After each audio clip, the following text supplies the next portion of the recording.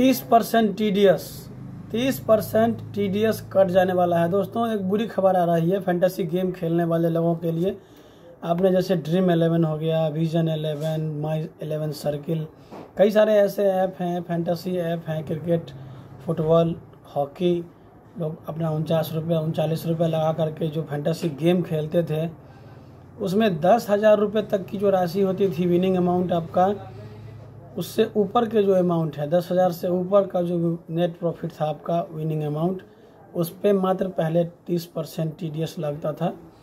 लेकिन वो अब जो है, एक अप्रैल से नया रूल सरकार ने लागू कर दिया है।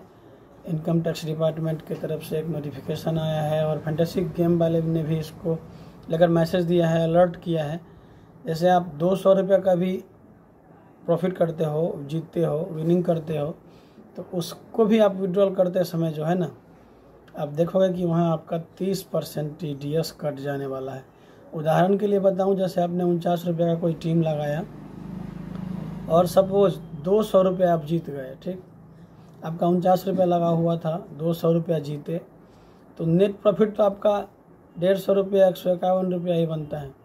उस दो सौ रुपये के अमाउंट को जो आप अगर विड्रॉ करते हो तो आपको फ्लैट वहीं instant thirty percent T D S मतलब पैंतालीस रुपया कट जाने वाला है। तो आपका अकाउंट में जो है एक सौ पचपन रुपये के करीब ही आ पाएगा।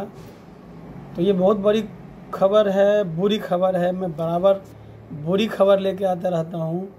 तो आप लोगों को जानना चाहिए, जैसे मैंने न्यूज़ देखा और अपडेट हुआ तो मैं सोचा कि आप लोगों को ही बता दूँ। तो ये निश्चित रूप से बुरी खबर है। ड्रीम एलेवन पर खेल कर गेम खेल कर फैंटेसी में लोग आपने कई बार न्यूज़ सुना होगा, एक करोड़ जीत गया, पचास लाख जीत गया, बीस लाख जीत गया, दो करोड़ जीत गया। जैसा कि अभी भी आईपीएल का सीज़न चल रहा है, लोग गेम खेल रहे हैं, जीत रहे हैं। बिल्कुल सही तो हैवी अमाउंट कोई अगर जीतता है तो वहाँ फ़र्क नहीं पड़ता। कोई अगर दस लाख जीत जाए, मेरा मानना है, लोग निश्चित रूप से चाहते हैं एक करोड़ नहीं, दो करोड़ नहीं, दस लाख ही जीत जाए तो वहाँ ठीक है। लेकिन अगर उससे ज़्यादा का अमाउंट जैसे ही लोग जीतता है तो फ़र्क नहीं पड़ता है। लेकिन बहुत छोटा सा अमाउंट अगर हज़ार, दो हज़ार, पाँच सौ रुपये कोई जीतता है, वहाँ अगर तीस परसेंट टी लग जाए तो कितना मुश्किल हो सकता है, कितना ये